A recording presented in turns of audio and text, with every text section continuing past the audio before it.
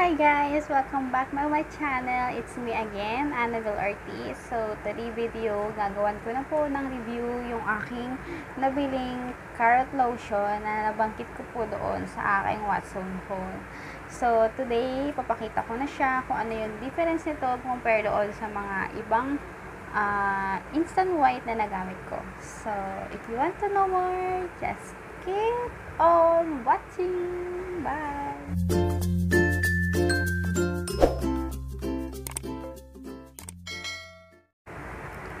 Ayan guys, so mag start na ako doon sa ating review about nito sa trending na trending na carrot lotion na instant white.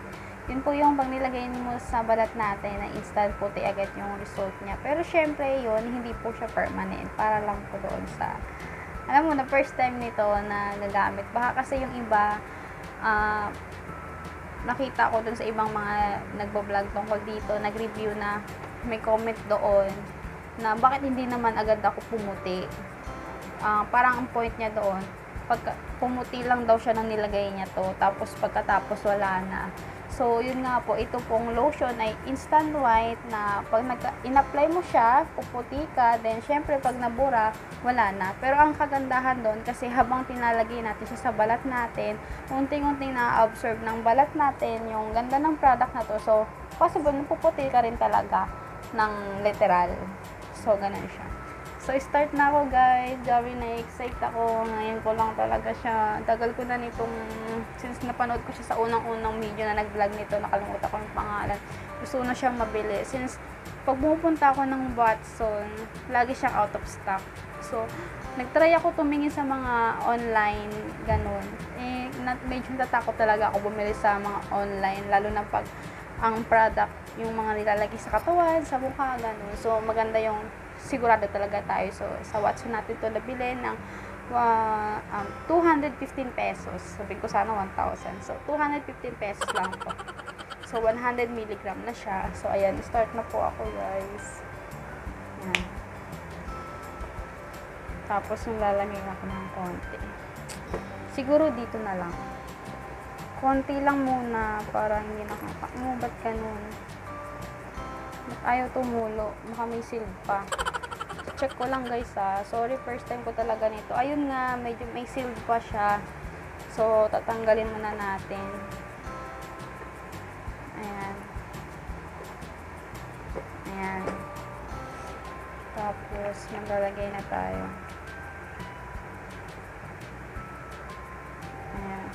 So, dito na lang para sa kaliwa ko. Ay! Naku, medyo ano, parami ata. Pero, sige. Oh my God. Sobrang bango pala talaga ng product na to. Akala ko dun sa mga napapanood kong video. Talagang simpleng bango lang. Pero, iba. Ganda, promise. Bango.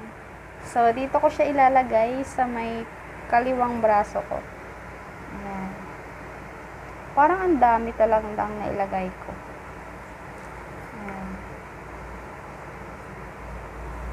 Tapos, medyo marami ata. Nadadamihan ako. Siguro ilagay ko na lang din dito.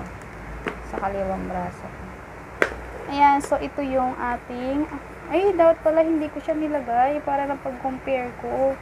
Very wrong talaga ako. Ayan. Dapat pala hindi ko muna siya nilagay dito. Para na-compare ko kung ano yun.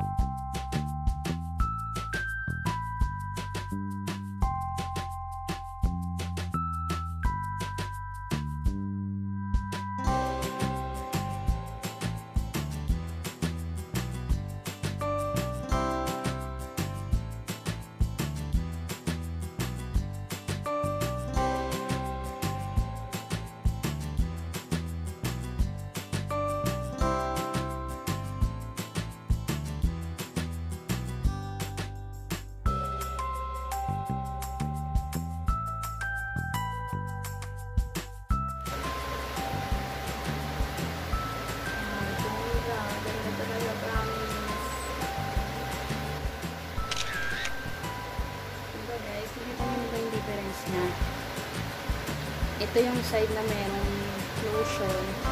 Ito yung side na wala. Kita niyo ba? So, medyo maitim to. Ito yung meron. Isa-isa yung bubbles. Diba? Puti niya.